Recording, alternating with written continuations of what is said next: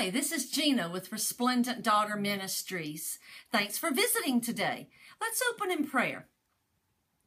Father, thank you for the joy that we have in our Savior Jesus Christ.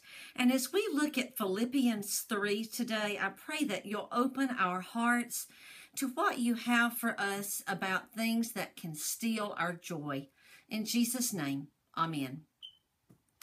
Well, the topic of today's video is Beware the Joy Killers. We can observe with some bemusement that Paul's editing and revision skills, he didn't use them so aptly in the letter to the Philippian church. When we look at the end of chapter 2, it appears that Paul is about to wind up. He's about to tack a closing onto his letter. And in that vein, at the beginning of the next chapter, chapter 3, he starts out with the word finally. But then, after admonishing the Philippians to rejoice in the Lord, he seems to think of something that steals his joy fake Christians who actively work against evangelistic efforts, specifically his efforts to establish Christian congregations, and he takes off on a vehement rant. Who are these people who so inspire Paul's ire and condemnation?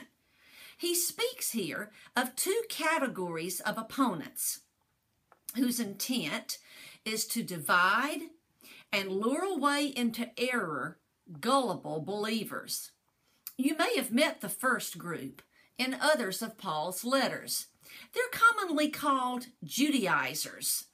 These are those who formerly disdained Gentile peoples, referring to them as dogs not worthy of salvation, which is why Paul refers to those troublemakers as dogs here in verses 2 through 3. All of today's scripture references in the written blog from which this video is made are from the New English Translation.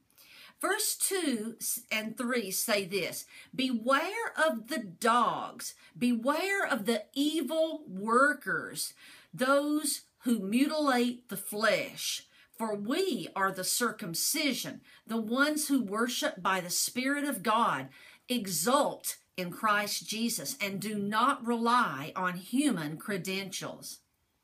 These evildoers had written off the entire Gentile world, which was the greatest majority of the world, for goodness sake, prior to Paul and others beginning to evangelize it.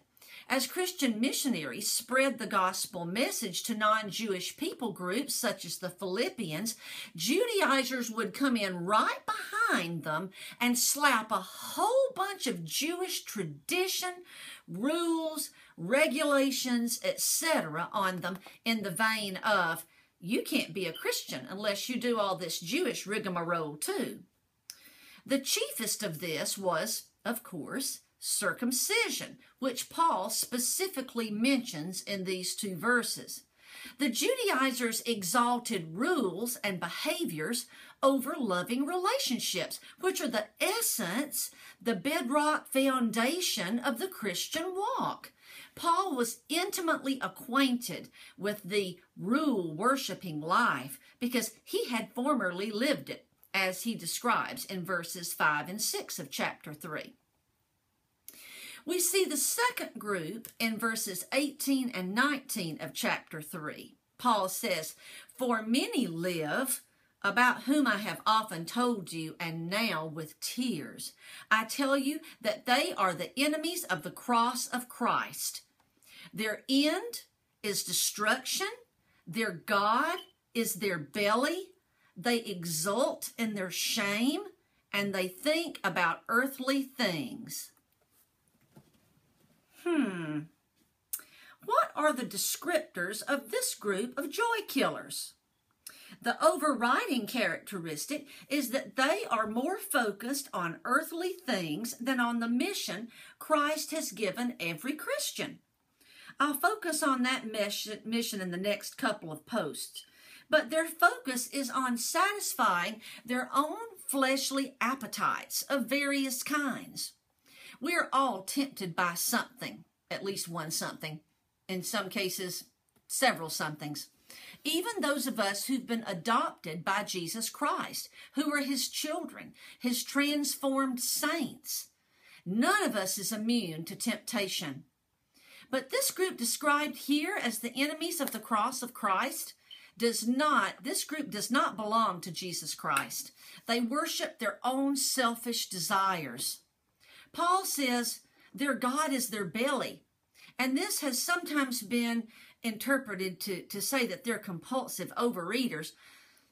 While that could be one manifestation, in the larger sense, these people give in to any and every fleshly desire that comes across their paths.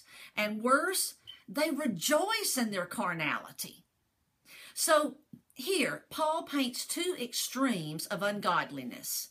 One rejoices in their legalism, and the other rejoices in their hedonism. Paul warns the Philippians to avoid both groups, as both are evil enemies who will divide churches and dampen the flame of holy, righteous joy. Although he's describing non Christians sometimes masquerading as Christians, Paul realizes that true believers can sometimes get the stink on them too. That is why Paul says, Beware, don't step in the dog poop. In the next post, we'll examine the nature of the true believer in Jesus Christ. Paul does that so magnificently here in chapter 3. I can hardly wait to dig into that. Let's pray together. Lord God, it is so easy to get slimed. I thank you for holy discernment, which often I am sadly lacking, and for forgiveness and cleansing and restoration. Your saints, your beloved, need all of these to deal with stepping in it and getting the stink of sin on our lives.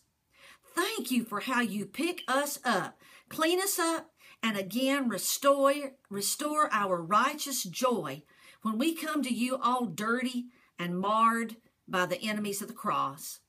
We worship you, our Savior and King. In Jesus' name, Amen.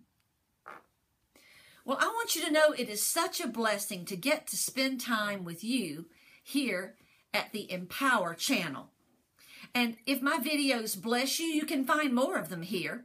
But you can also find inspiring videos from other of our Empower contributors.